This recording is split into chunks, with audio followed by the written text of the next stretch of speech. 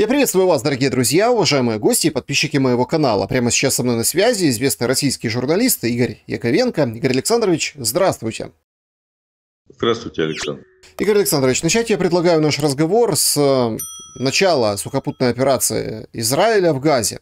Параллельном голосовании в ООН, где 120 стран высказались за немедленное прекращение огня. И кажется, ну, по крайней мере, видится вся ситуация, оборачивается, несмотря на, ну, условно для израильтян, а, как бы благие цели они преследуют этой спецоперации сухопутной на территории Газа, но мир как бы против. Что вы думаете о, об ударах Цахал по Газе и, собственно, насколько мир может повлиять вот этим рекомендательным решением в Генассамблее ООН на действия Израиля? Э, давайте попробуем разобраться. А кто такой мир? А, значит, 120 э, стран э, высказались за прекращение огня. Гутериш до этого заявил, что вообще на самом деле вот, Хамас возник не на пустом месте, не в вакууме тоже такое заявление. Кстати говоря, это заявление, когда израильская делегация потребовала отставки Гутерриша, то за него заступились. В том числе заступились немцы.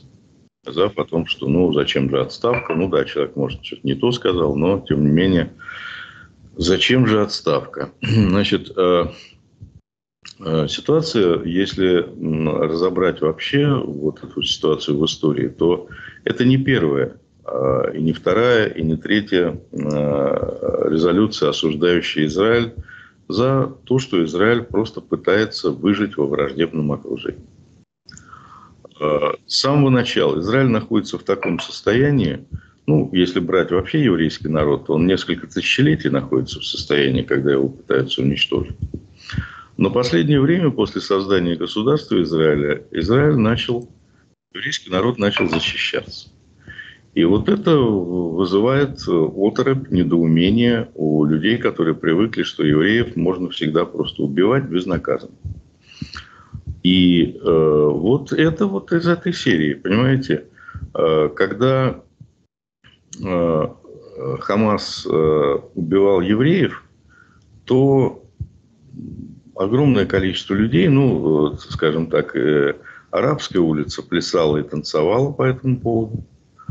Вот. А когда э, Израиль э, начал отвечать и начал пытаться уничтожить Хамас, а без уничтожения Хамас э, Израиль существовать не может в нынешней ситуации.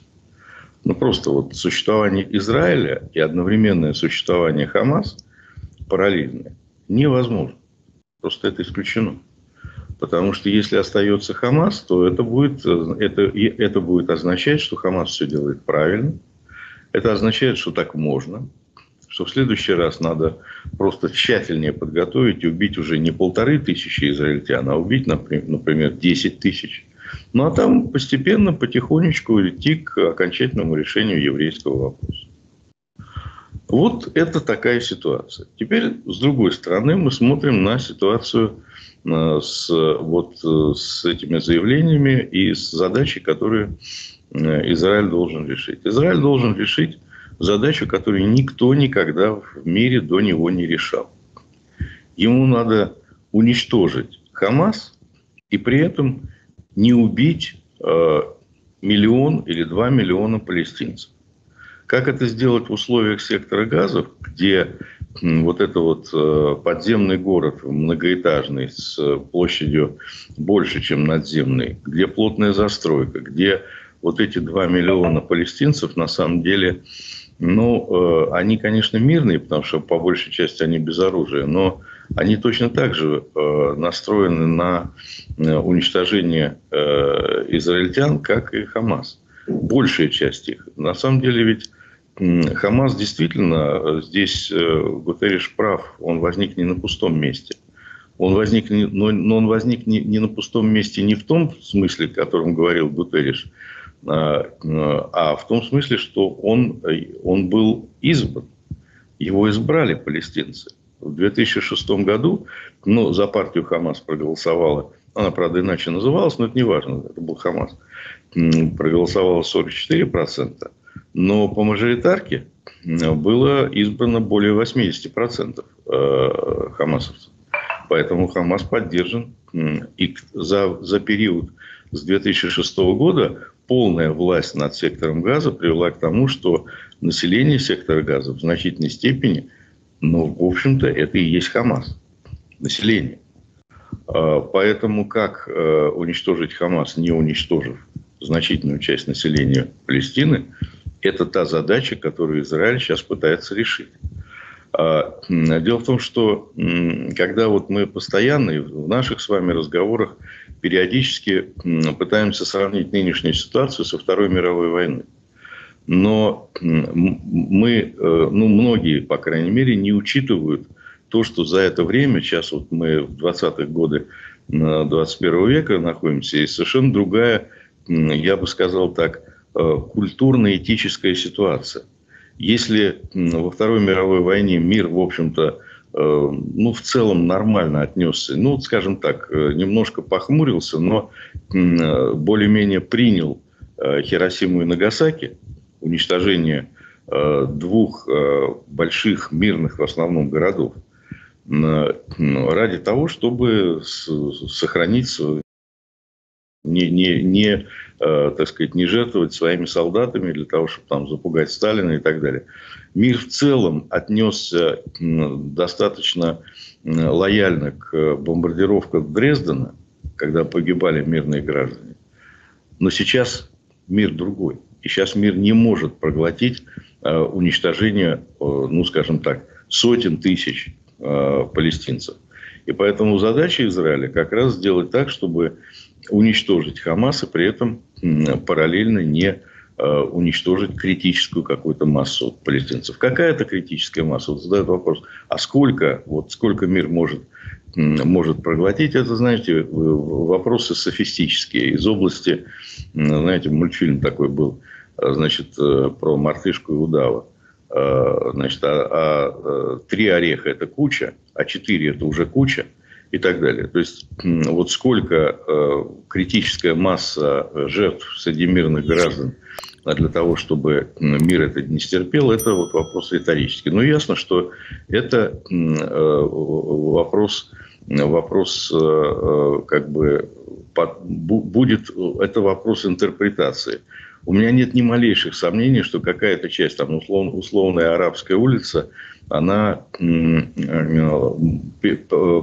поет и пляшет э, при виде полутора тысяч убитых израильтян, но даже при виде одного э, палестинца она будет скорбить, плакать и возмущаться. А вот как на это отреагирует значительная часть евроатлантической, стран евроатлантической цивилизации, это большой вопрос. И да, действительно, уже сегодня существует довольно сильное противостояние Израилю, в том числе и в европейских, в, Америка... в странах Северной Америки. Санкции ведут? А, опять-таки, а, кто ведет санкции? Ну, 120 стран, которые за прекращение огня. Прекращения огня не будет, значит что, санкции? Э, значит, опять-таки, э, санкции э, вводит кто конкретно? Санкции могут ввести, например, там, арабские страны. Да? Санкции могут ввести, ну, Израиль это переживет. Есть стопроцентная уверенность, что санкции не будут введены решением Совета Безопасности Организации Объединенных Наций. Это стопроцентная гарантия, этого не будет санкции не введут, не введут Соединенные Штаты Америки. Санкции не введет Великобритания. А, я думаю, что маловероятно, что санкции введет э, ФРГ. И, в общем, на самом деле, э, понимаете, у Израиля ведь очень простой выбор. Находиться в состоянии постоянной угрозы уничтожения, а сохранение Хамас это постоянная угроза уничтожения. Либо, э, так сказать, вот оглядываться на Гутерриша, на 120 стран, на возможные санкции со стороны арабских государств. Я должен вам сказать, что за свою несколько тысячелетнюю историю э, еврейский народ и еврейские государства, которые были, они не раз проходили через э, гораздо более тяжелые испытания, чем те, которые сейчас э, существуют. Это и уничтожение со стороны Ассирии, это уничтожение со стороны Вавилона, это и египетский плен, и э, э, гонение, так сказать, по Европе, вот, и Холокост, все это было. Где все эти, где ассирийское государство? Не помните? Где Вавилон? Э, Навуходоносор II, который уничтожал евреев. Где Гитлер? АУ. Их нет. Вот. А, значит, э, с самого начала создания еврейского государства в 1948 году, с первой же минуты э, Лига арабских государств объединилась для того, чтобы уничтожить еврейское государство. Израиль победил. Он побеждал и в войне Судного дня, и в войне 1968 года. У меня нет ни малейших сомнений, что он победит и сейчас.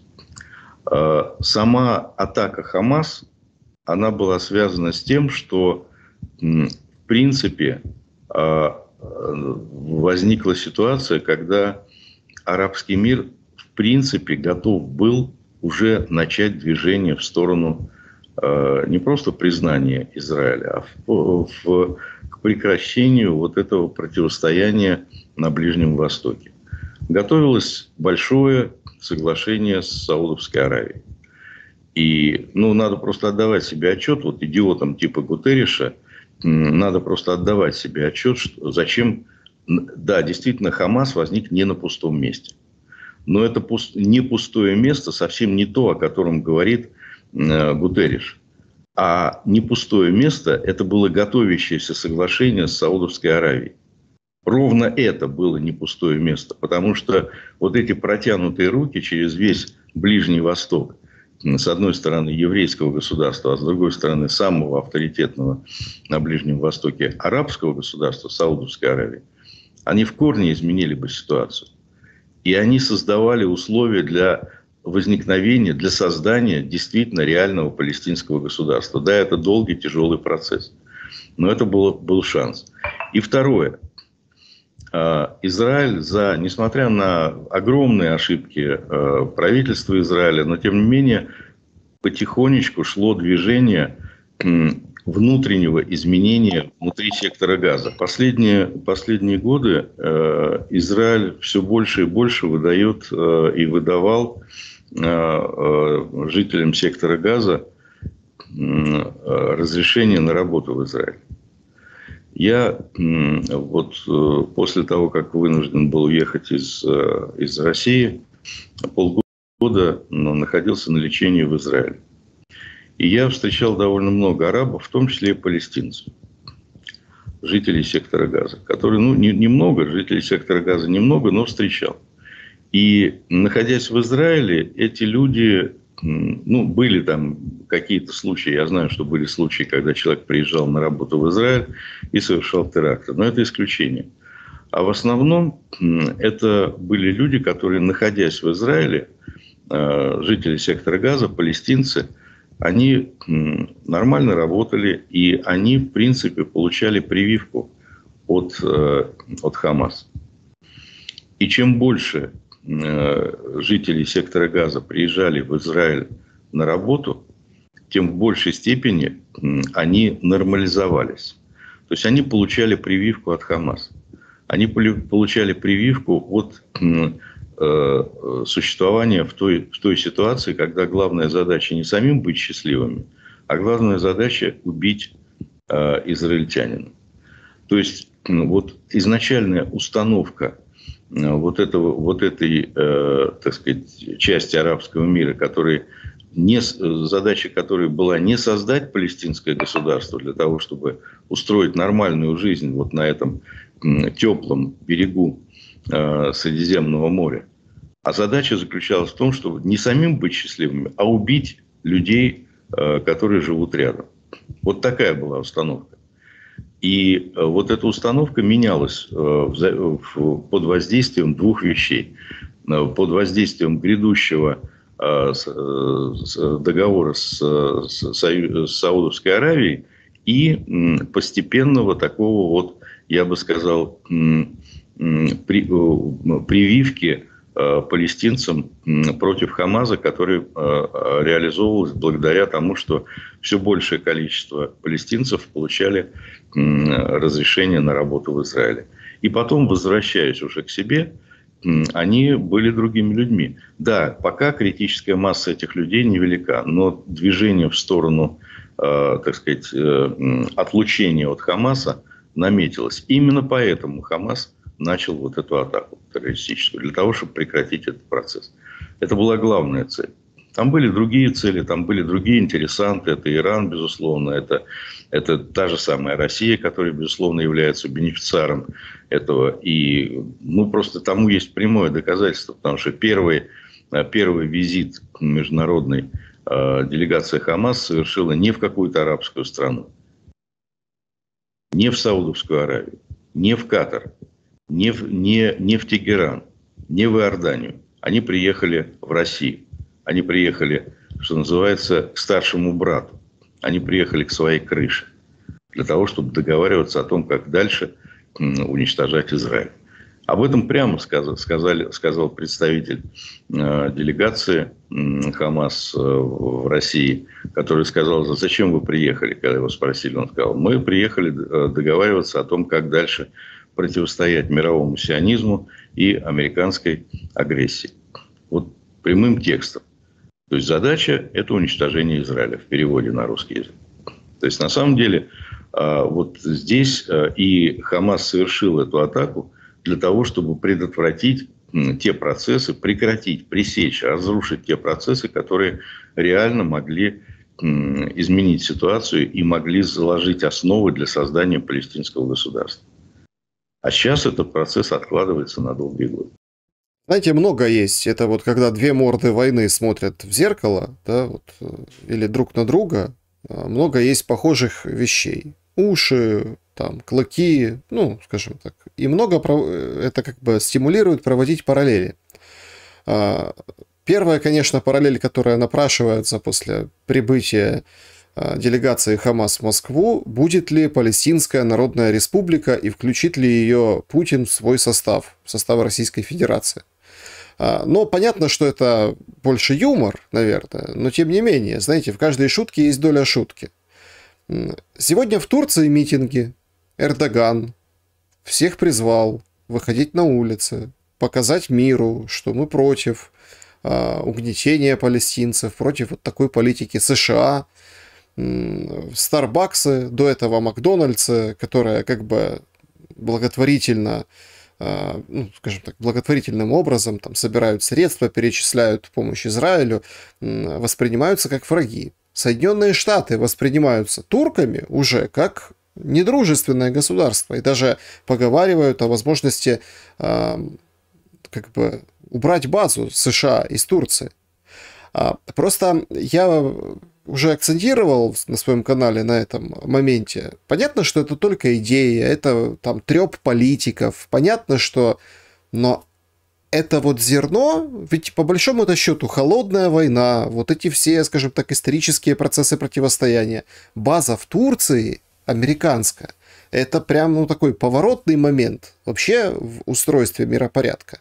И когда они только заговорили, понятно, что стоит, какие цели у разных осей и игроков за кулисами.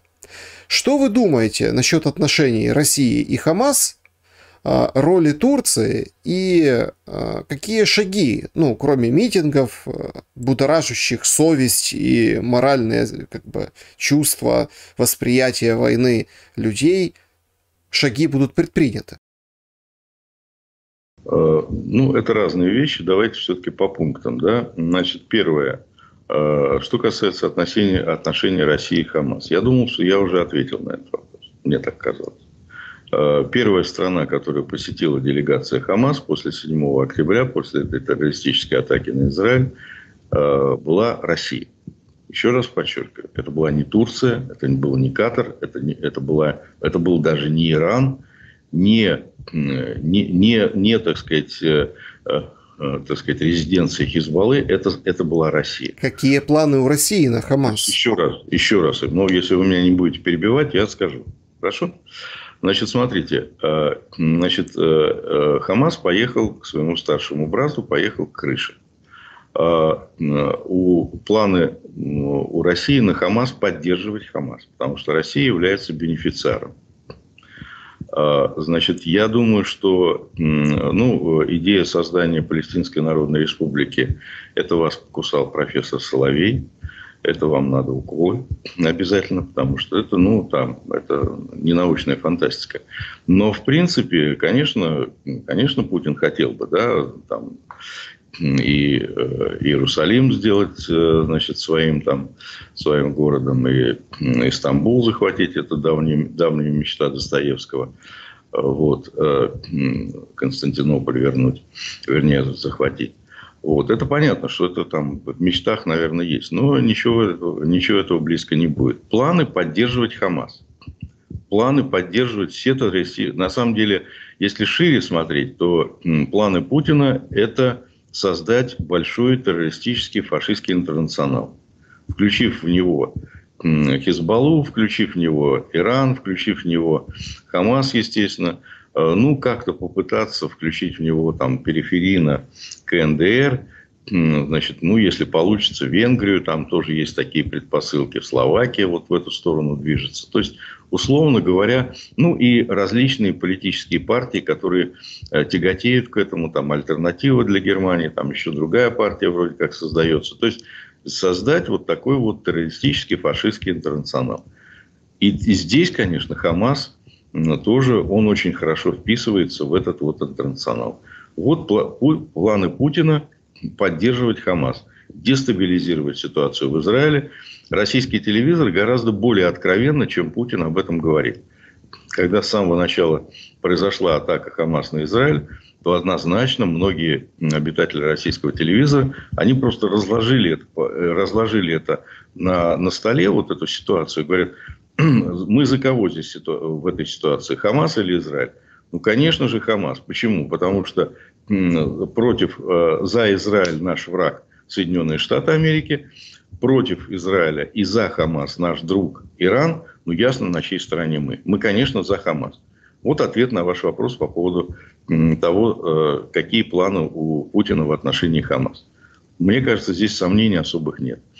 Что, второе, что касается Турции – и не только Турции, но и других стран, которые здесь в этой игре участвуют. Иран, э, там, Иордания и другие. Значит, э, Турция. Эрдоган э, претендует на лидерство в исламском мире. Ну, кстати говоря, не он один. Кадыров, кстати говоря, тоже претендует на лидерство в исламском мире, поэтому он однозначно за Хамас все, кто претендует на лидерство в исламском мире, они выступают в поддержку Хамас. Опять-таки, если есть претензия на лидерство. И э, Эрдоган, который претендует на лидерство в исламском мире, он однозначно за Хамас. Здесь он э, мог бы оказаться на такой растяжке, потому что э, Турция член НАТО, Турция вроде бы как когда-то, ну, скажем, инерция Э, правления Ататюрка она существовала. Когда-то Турция хотела вступить в Евросоюз. Турция член НАТО, у Турции американская база. Но Эрдоган все-таки довольно жестко, вот его поворот в сторону противоположную движению, которое задал Ататюрк, э, оно срабатывает. Эрдоган – это такой традиционалист, националист, сторонник вот этих вот традиционных исламских ценностей, поэтому его претензия на лидерство в исламском мире, она здесь доминирует. И плюс еще претензия на, на том, чтобы создать большой тюркский мир. А, это доминирует, поэтому он сейчас вот против Израиля, он, он заявил о том, что Хамас это никакая не террористическая организация, это освободительное движение, то есть слова все сказаны. А, что касается того, насколько, э, насколько реально на сегодняшний момент э, Эрдоган может оказать э, поддержку Хамасу, там, военную поддержку, ну, я думаю, что это крайне маловероятно. Крайне маловероятно. Точно так же, как Иран. Я думаю, крайне маловероятно, что Иран сегодня попытается встрять в эту историю. А, значит, насчет, э, закончим насчет, туре, насчет американской базы в Турции. Да, это очень опасная история. Но э, все-таки Эрдоган, в отличие от Путина, в этом его существенное отличие, он не безумен.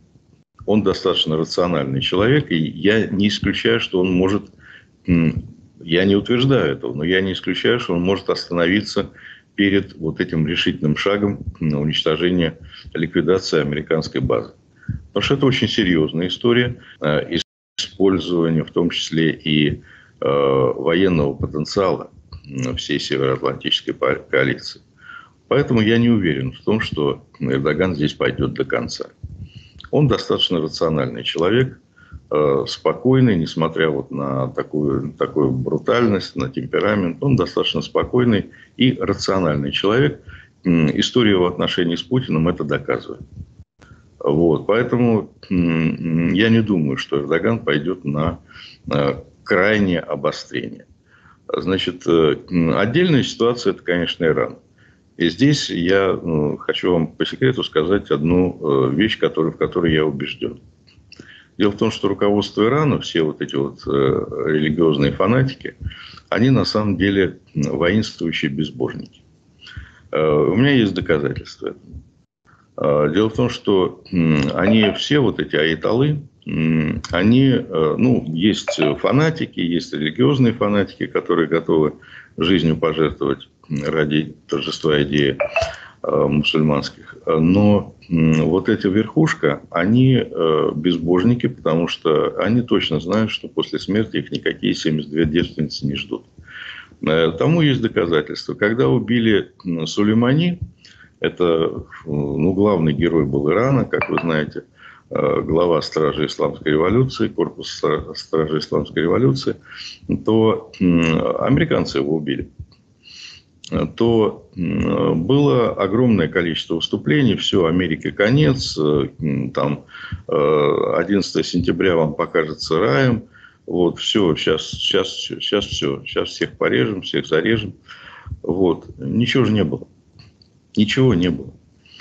А на сегодняшний момент старенький Байден подогнал к берегам а, Израиля, к берегам сектора Газа, подогнал два авианосца.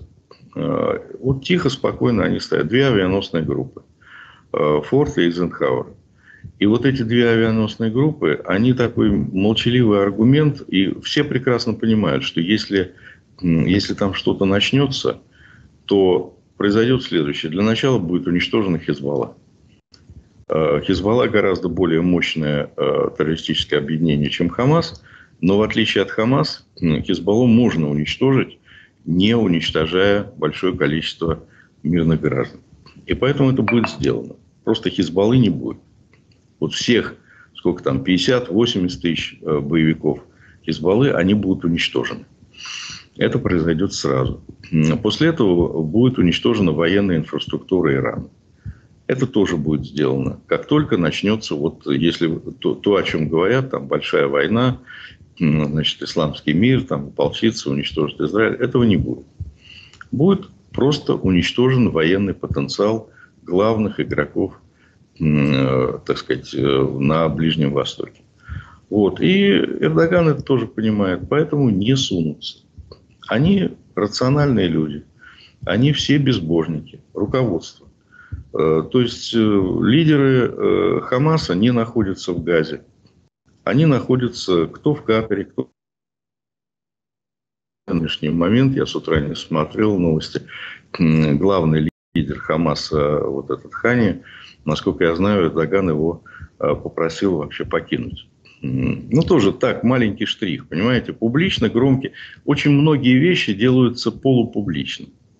Вот по поводу того, что нужно, нужно изгнать э, американскую базу, громкий разговор. А по поводу, по поводу заявления Эрдогана, чтобы Хани, вот лидер, лидер Хамаза, Хамаса был, э, покинул э, Турцию, это было тихо сказано. Но в прессу это просочилось. Вот понимаете, поэтому это многослойная история. Поэтому, э, да, вероятность, вообще вероятность э, смерти человечества, она существует. И вероятность Третьей мировой войны большой тоже есть. Но, на мой взгляд, она сейчас не очень велика. Угу. Я просто в этом контексте хотел бы о России несколько слов. Какая-то интересная мода пошла. То представитель Израиля в ООН демонстрирует булыжник. За ним следом выходит представитель России и демонстрирует осколки Хаймарс, Шторм Шэдоу, мол, смотрите, Украина стреляет по Чангарскому мосту и э, прерывает поставки продуктов э, в Крым. Вот такие террористы.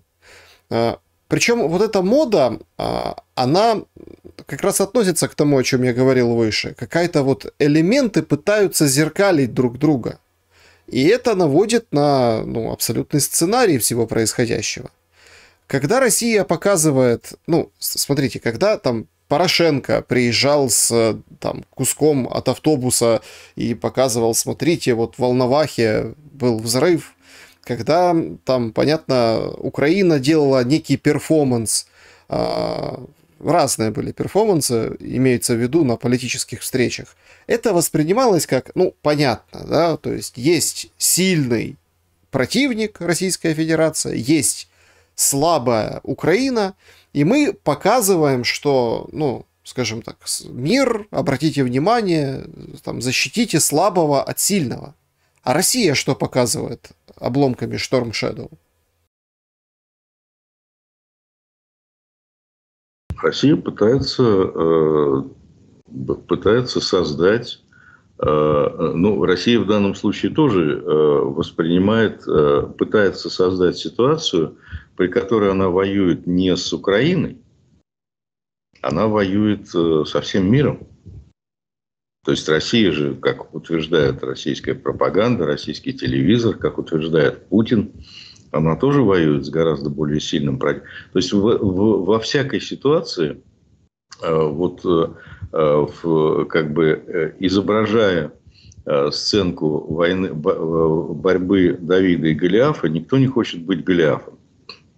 Ну, Голиаф какой-то такой, он, он большой, волосатый, он очень глупый. И главное, что он всегда проигрывает. Все хотят быть Давидом. Статую Давида видели? Красивый. Вот. А, значит, все хотят быть Давидом. Поэтому э, Россия тоже хочет быть Давидом. Получается плохо, но хочет быть Давидом. В ситуации войны против Украины Россия это Голиаф. В ситуации войны со всем Западом Россия это Давид. Вот и все. Хотят быть Давидами все. Вот. Получается плохо, понимаете? Э, вот э, Украина, получается, у России нет. Вот. Но, но очень хочется. Хочется быть красивым. И хочется быть победителями в конечном итоге. И хочется вызывать симпатии. Не очень получается, но пытаются. Но в Украине тоже определенная проблема с этим. Потому что, ну, опять-таки, понятно, что это может быть лютая конспирология, но Зеленский поехал в Америку началась история, ну и быстро закончилась, в общем, с Арменией, Карабахом э, и Азербайджаном. Как вот, как по нотам. То есть тут уже все собрание в Америке, да, вот ООН, встречи, все, а вот смотрите, Азербайджан возвращает Арцах или там Карабах. А сегодня Мальта, 50 с лишним стран, Конечно, поддержка Украине, часть включится по скайпу, часть приедет лично. А, не будет Китая, хотя прошлый раз в Джиде Китай был. Понятно, что России не будет. А, в общем, а, как бы вот казалось бы, да, много надежд на продвижение формулы мира Зеленского, на поддержку Украины. А мы видим начало сухопутной операции, и полностью фокус уходит туда. Это какой-то план, как затереть Украину? Да нет. Я думаю, что, э, э, понимаете, э, приписывать абсолютно всем странам мира, что они что-то делают для того, для того чтобы либо помочь Украине, либо навредить, это тоже, тоже такая вот, такой сбитый фокус. Да, события э, в Украине, война России против Украины, это, видимо, все-таки центральное событие э, сегодняшнего этапа мировой истории, но это не единственное событие. И поэтому э, вот для многих россиян, например, болезнь зрения – это такой вот российцентричный взгляд на мир. И когда россияне э, там оказываются за границами, за границей, они с удивлением убеждаются в том, что э, Россия на самом деле на периферии. Э, вот, и там в Европе, и в Америке. Ну да, сейчас она привлекла внимание своим э, террористич, террористической сущностью, да, то есть на террористов обращают внимание. Но в целом она на периферии. У украинцев тоже есть э, ну, понятный, вполне, понятный, вполне украиноцентричный взгляд на мир. Украина очень важный, э, важный субъект, все возрастающий. Важность Украины как субъекта политических отношений, как э, игрока вот, в мировой истории, она резко возросла, резко возросла, она совсем уже другая, она гораздо больше стала. Но, Украина не единственный субъект мировой истории. Есть и другие, поэтому, когда говорится о том, что все, что делается, это делается либо для Украины, либо против Украины, это ошибка. Я думаю, что вот то, что происходит, это, э, ну, понимаете, когда возникла ситуация войны э, в Израиле, то, естественно, фокус внимания сместился туда. Это не значит, что э, Украине перестали помогать. На самом деле, э, э, знаете, я очень люблю в, в любых спорах э, много решают числительные. Цифра. Давайте. Вот цифра. Помощь сократилась 20% э, Од... от предыдущих одну, месяцев. Одну, одну Давайте по цифрам. Одну, одну секундочку. Давайте по цифрам. Скажите, пожалуйста, вот тот пакет, который, Соединенный, который Байден предложил Конгрессу, вот сейчас вот, к сожалению, прервалась вот эта вот э, бесспикерская ситуация в, в Палате Конгресса. И вот он сейчас будет рассматриваться. Скажите, пожалуйста, какие цифры там э, на поддержку Украины, какие на поддержку Израиля? Помните? А ну, я 60-10, да. Нет, ну не, не 10, ну что же вот так уж совсем. 13, 14. да. 14. Значит, 60 Украине, 14 Израилю. Ну вот цифры реально, понимаете? 60 Украине, 14 Израилю. Да, более того, э, значит, э, вот э, помощь, было сказано, что помощь не будет сокращена что-то, что-то когда-то, я не знаю, по, по каким параметрам вы считаете, что сократилась помощь? От чего она сократилась? По, помесячно, я считаю, Помес... есть уже все графики, и последние 150 миллионов пакета помощи от Соединенных Штатов Америки воспринимаются как на чай. Да, спасибо, есть Дания, которая вроде как, э, ну, партнер Америки, вроде как 450 миллионов будет выделять, да, но как бы тоже стандартный э, пакет для Украины. Вот если брать разбивку по месяцам и ну, динамика, то октябрь провален. Ну, опять-таки, еще раз фиксирую. Значит, э, бывают разные месяцы. Я еще раз подчеркиваю, вот есть пакет пакетная помощь, которая э, четко говорит о том, какие пропорции. 60 миллиардов, миллиардов, не миллионов, а миллиардов. Украине 14 миллиардов Израилю. Вот и все. Вот соотношение помощи, которое, э, да, если брать, понимаете, если брать медийную сферу, то, наверное, можно считать, что Э, так сказать, э, вот на первых полосах газет больше, наверное, я не, не знаю, я контент-анализ не делал, но я думаю, что, наверное, ну так, на вскидку, больше э, разговоров о, об Израиле. Хотя вот та пресса, которая, та зарубежная, в том числе пресса, которой я пользуюсь, там на вскидку пополам. BBC, CNN, что еще? Ну, вот BBC, CNN, Forbes я давно не... Ну, не знаю. Тем более Forbes там купил как, какой-то наш. Вот. Но в любом случае, примерно пополам. Да, я, я, я не исключаю, что все-таки многие газеты, многие телеканалы больше сейчас э, говорят о Израиле. Но Если по деньгам, 60 на 14. Вот цифра. Ну, и ничего с этим не делаешь. Это пакет не принятый, вряд ли будет принятый. А это кто вам такое сказал? Ну, это следствие избрания Джонсона, инициативы по разделению пакетов э, помощи, затягиванию процесса. И, судя по всему, ну, условно, да, будет контроль за каждой копейкой и, соответственно, сокращение, порционность еще больше. То есть э, тут, как бы, понимаете, эти 60 э, могут легко превратиться, они и до этого превращались, то есть не в те деньги, которые нам выделялись, поступали в Украину, там, не все, да, а, а больше, большинство оставалось в самих Соединенных Штатах Америки, но как бы оптимизма меньше гораздо. Слушайте, какие-то сказки вы рассказываете, что деньги оставались в сами, самих Соединенных Штатах Америки.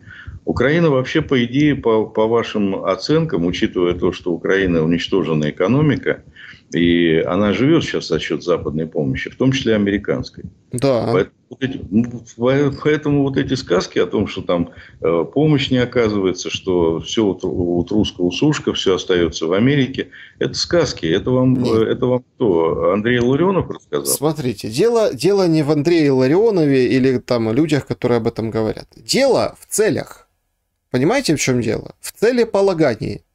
Вот исходя из э, текущей ситуации, которую мы наблюдаем, мы видим за уже там близящимся, скоро будет два года войны, что цели для того, чтобы освободить Украину, э, скажем так, до границ 91 -го года, э, у Запада нет. Вы знаете, вот есть, есть такой Э, такой э, миф, распространенный в российской пропаганде, основанный на э, технологии проникновения в мозги западных лидеров.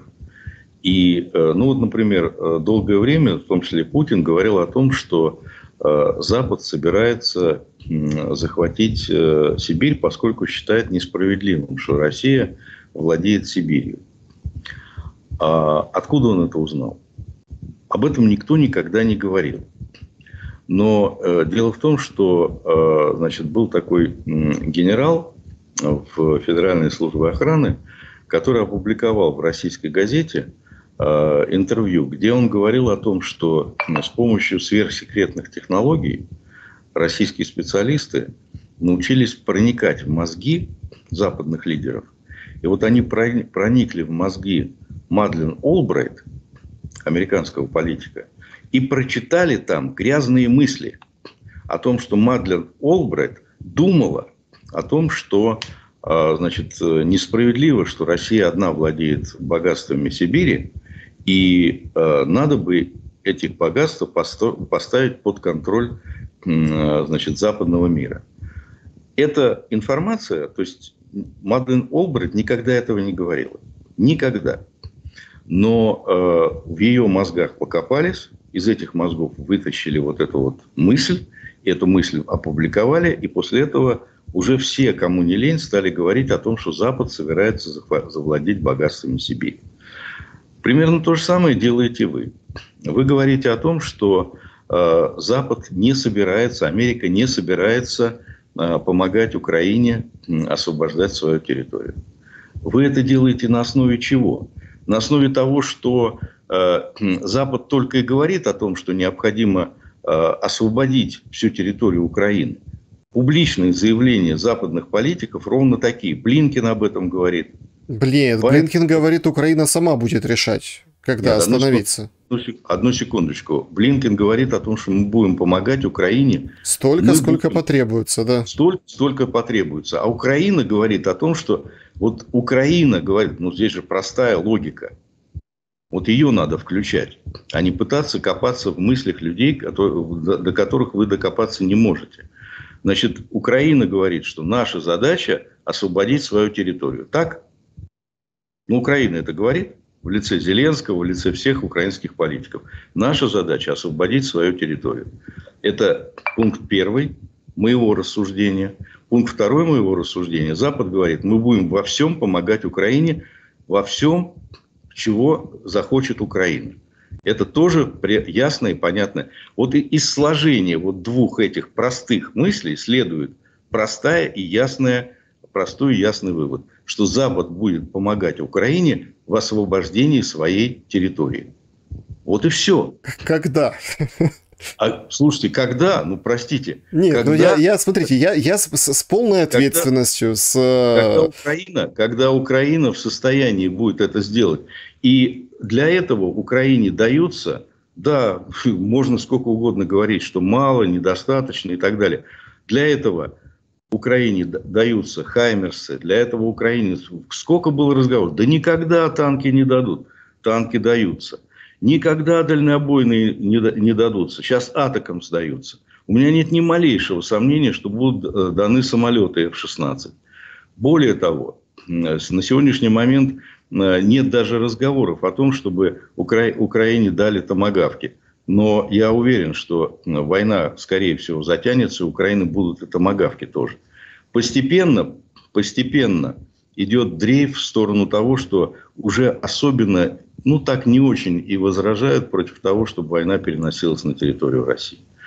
А, Четко, опять, вы а, постоянно подменяете тезис.